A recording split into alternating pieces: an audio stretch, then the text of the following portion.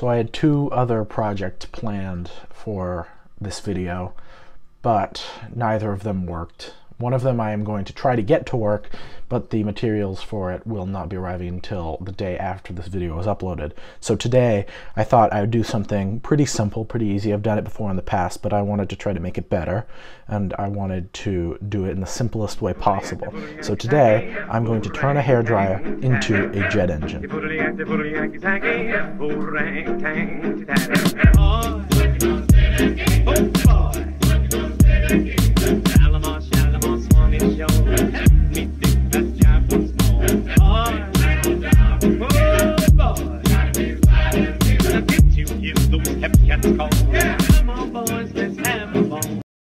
So since I didn't really uh, film the explanation of how this engine works before I assembled it, I decided to reuse some of the old footage from one of my failed uh, projects to explain. So here's past me talking about the basics of a flame tube.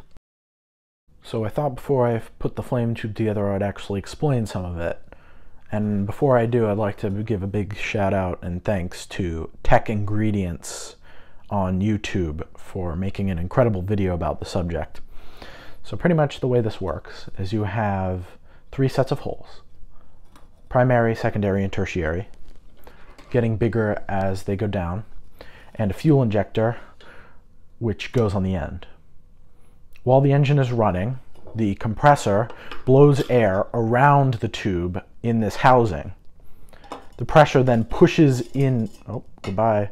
The pressure then pushes the air through these holes, which mixes then with the incoming fuel from the injector. In the first stage, just enough air is mixed with the fuel for it to ignite and burn slightly. In the second stage, the more air is introduced and the burning is complete. And in the third stage, even more air is introduced, which cools the exhaust gases to the point where they will not melt the blades of the turbine. So now that I've built the thing and explained the basics behind it, let's watch it run.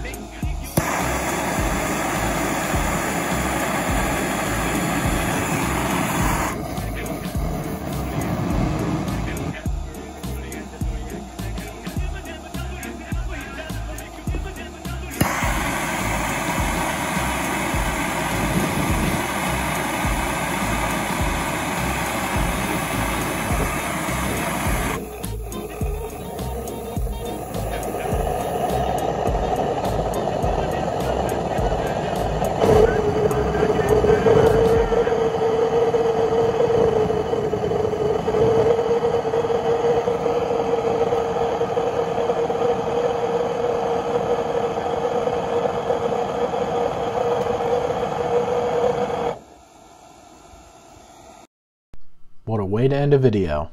Anyways, thank you for watching. Bye for now.